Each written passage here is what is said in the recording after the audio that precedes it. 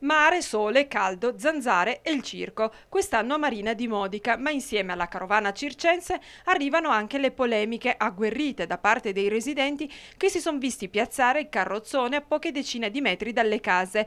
Il circo, che si è infatti installato in pieno centro abitato a Marina di Modica, è già di per sé poco profumato, ma con le alte temperature estive di questi giorni emana forti odori sgradevoli e nauseabondi, causati dalla presenza degli animali e soprattutto dagli escrementi di quest'ultimi.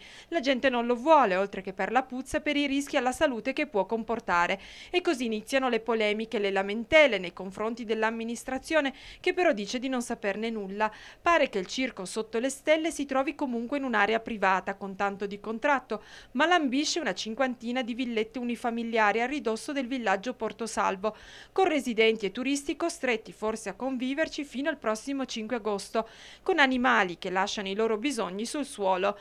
L'area interessata si trova in via Damosto, a un centinaio di metri da piazza Donatello e viale Giovanni da Verrazzano, in un'area privata ma di uso pubblico, non recintata, utilizzata solitamente come parcheggio, ora trasformata in circo sotto le stelle e non solo.